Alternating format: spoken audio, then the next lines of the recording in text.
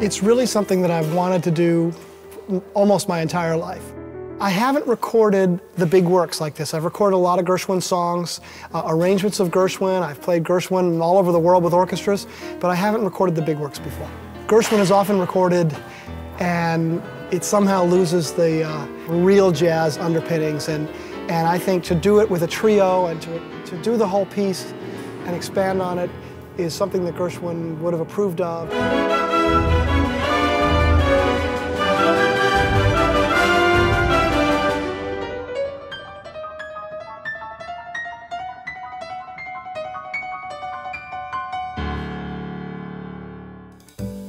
Gregg and I have worked for a very long time together, almost 20 years, again, all over the world, in the recording studios, countless times, our own trios and with other people, and uh, he's really my best friend, and I trust his musical judgment more than anybody. Shelly had been talking about wanting to do these Gershwin variations on Rhapsody in Blue that I'd heard him do live, where he incorporated the original arrangement that everybody's heard, but he inserted these, these sections for jazz rhythm section, which is really a strong suit for Shelly. Shelly's got great classical knowledge um, and, and technique, but he's really a master jazz piano player. It's really a thrill to be able to come to London with the Royal Philharmonic Orchestra and Jose conducting and insert our, our little trio into this, into this mix.